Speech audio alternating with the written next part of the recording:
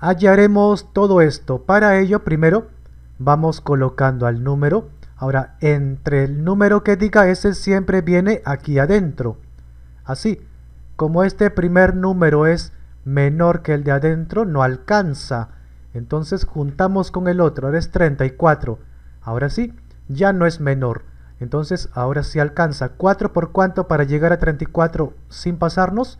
A ver, 4 por 9, 36 se pasa. Así que por 8. 4 por 8, 32. Ahora sí. Y lo escribimos abajo para restar. 34 menos 32, 2.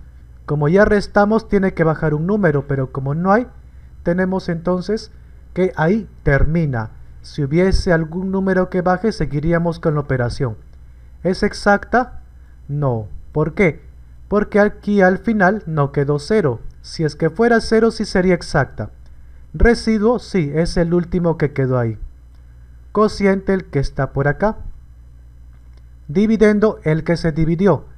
34 divisor entre el que lo dividiste, 4, y listo.